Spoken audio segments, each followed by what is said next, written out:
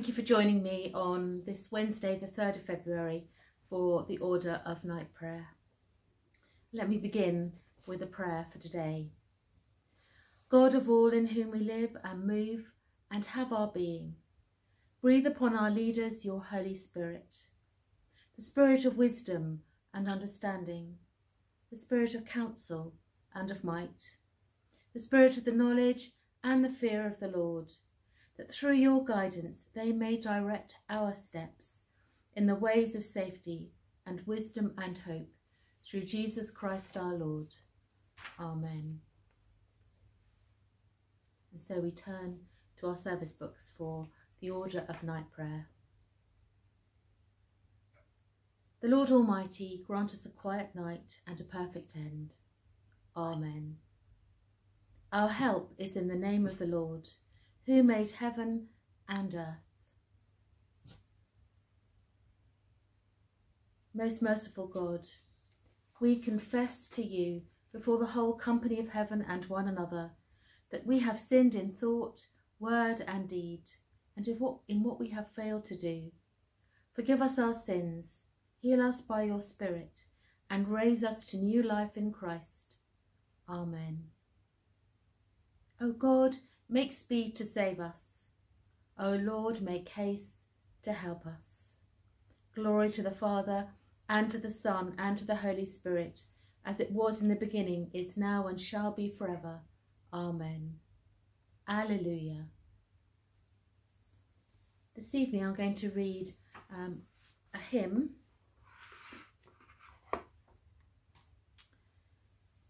and will be very familiar to many of you. Father, hear the prayer we offer.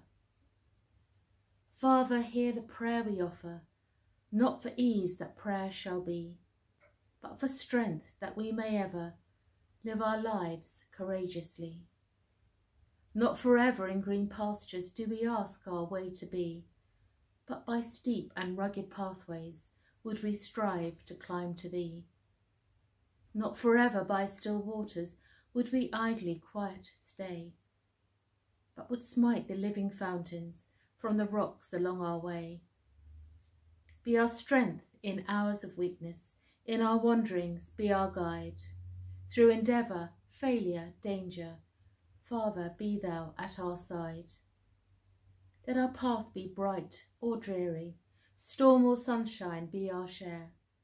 May our souls in hope unweary make thy works our ceaseless prayer.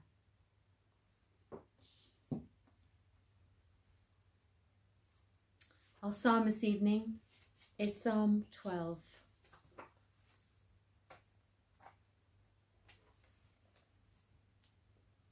Help, Lord, for no one is faithful any more. Those who are loyal have vanished from the human race. Everyone lies to their neighbour they flatter with their lips, but harbour deception in their hearts. May the Lord silence all flattering lips and every boastful tongue. Those who say, By our tongues we will prevail, our own lips will defend us. Who is Lord over us? Because the poor are plundered and the needy groan. I will now arise, says the Lord. I will protect them from those who malign them and the words of the Lord are flawless, like silver purified in a crucible, like gold refined seven times. You, Lord, will keep the needy safe and will protect us forever from the wicked, who freely strut about, when what is vile is honoured by the human race. Glory to the Father, and to the Son, and to the Holy Spirit, as it was in the beginning, is now and shall be forever. Amen. Our scripture reading is taken from the book of Hosea, Hosea, Hosea chapter 11, verses 1 to 11. God's love for Israel. When Israel was a child, I loved him, and out of Egypt I called my son. But the more they were called, the more they went away from me. They sacrificed to the Baals, and they burned incense to images. It was I who taught Ephraim to walk, taking them by the arms. but they did not realize it was I who healed them. I led them with cords of human kindness, with ties of love. To them I was like one who lifts a little child to the cheek, and I bent down to feed them. Will they not return to Egypt? And will not Assyria rule over them because they refuse to repent? A sword will flash in their cities. It will devour their false prophets and put an end to their plans. My people are determined to turn from me. Even though they call me God Most High, I will by no means exalt them. How can I give you up, Ephraim?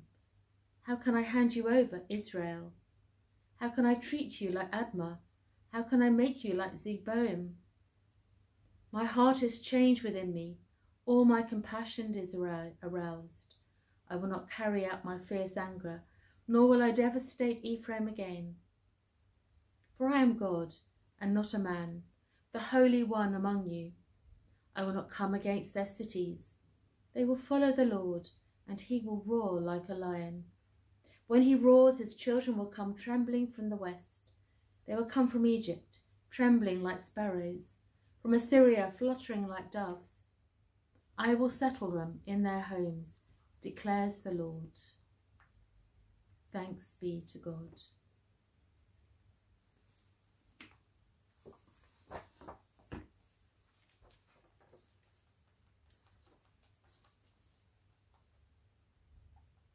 Save us, O Lord, while waking, and guard us while sleeping, that awake we may watch with Christ, and asleep may rest in peace. Now, Lord, you let your servant go in peace. Your word has been fulfilled. My own eyes have seen the salvation which you have prepared in the sight of every people, a light to reveal you to the nations, and the glory of the people Israel. Glory to the Father, and to the Son, and to the Holy Spirit, as it was in the beginning, is now, and shall be forever. Amen. Save us, O Lord, while waking, and guard us while sleeping, that awake we may watch with Christ, and asleep may rest in peace.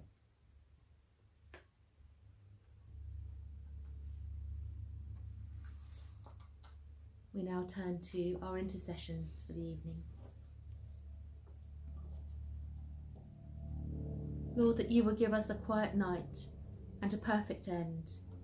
We pray to you, O Lord, that you will have mercy upon us and grant us your salvation. We pray to you, O Lord, that you will keep us this night without sin. We pray to you, O Lord, that you will guard us and give us your blessing. We pray to you, O Lord you will bring us with all your saints to glory everlasting.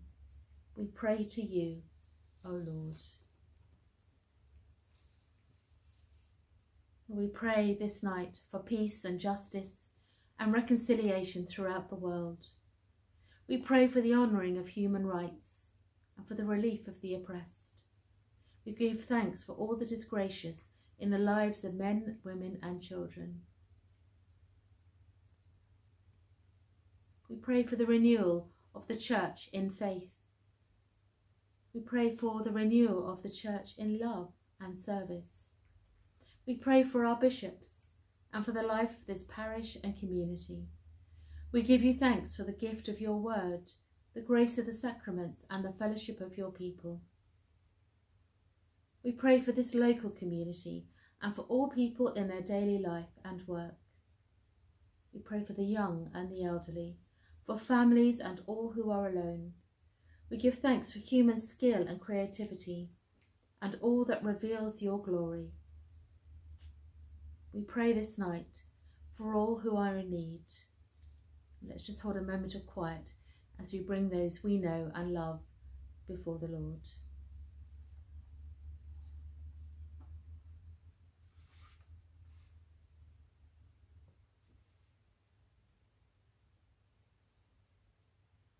We pray for the sick and for the sorrowful and for the bereaved. We pray for all who bring comfort, care and healing. We give thanks for human love and friendship and for all that enriches our daily lives.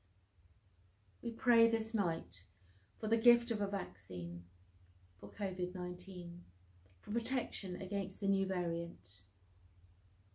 So let us commend ourselves and all for whom we pray to the mercy and protection of God in the name of Christ. Amen. And let's say the Lord's Prayer together. Our Father who art in heaven, hallowed be thy name. Thy kingdom come, thy will be done on earth as it is in heaven. Give us this day our daily bread, and forgive us our trespasses, as we forgive those who trespass against us. And lead us not into temptation, but deliver us from evil. For thine is the kingdom, the power, and the glory, for ever and ever. Amen.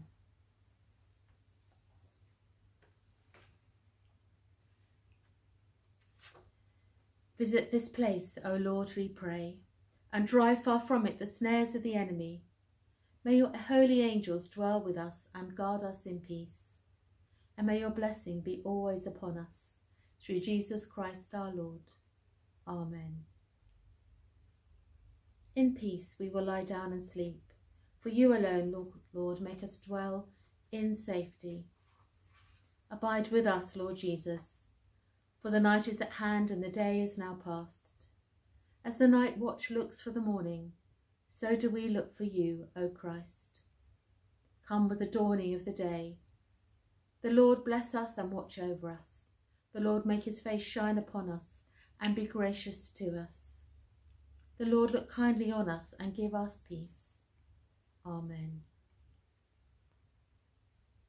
Lighten our darkness, Lord, we pray, and in your great mercy defend us from all perils and dangers of this night, for the love of your only Son, our Saviour, Jesus Christ. Amen.